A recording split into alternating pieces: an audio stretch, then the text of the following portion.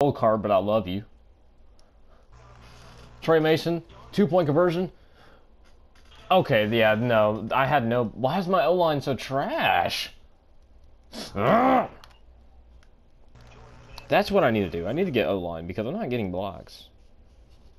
I'm gonna save up and start getting O linemen. Like this is getting disgusting. Where are my blocks? Mm, mm, three days grace popped on. Depression hits in. What I expected. And if I don't belong, who would have guessed it? I, I caught it. Interception. Ah!